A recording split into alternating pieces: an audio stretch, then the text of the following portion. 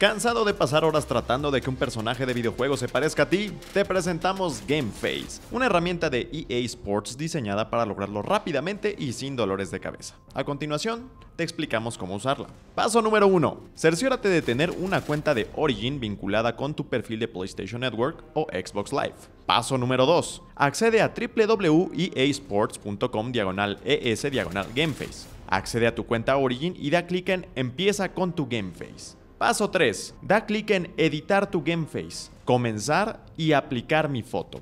Paso número 4. Tómate una selfie frontal y una lateral de la cabeza, sin muecas ni gafas y edítala siguiendo los pasos que da el sistema. Paso 5. Ajusta tu foto frontal y lateral para que la aplicación reconozca dónde está cada parte de tu cara, la aplique al personaje y guárdala. La generación del modelo demorará breves instantes. ¡Listo! Así se verían si estuvieran en un videojuego. Sí, así de achatados están. Ja. Muévanle a las opciones de personalización para ajustar el estilo de cabello, la anchura de las mejillas, lo separado que tienen los ojos, etc.